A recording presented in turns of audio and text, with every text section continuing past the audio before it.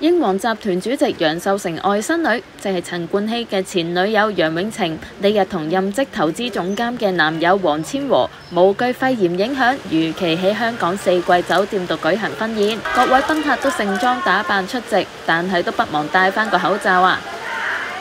楊秀成夫婦到場嗰陣就拎住大大個利是封，睇嚟都唔會輕手啦。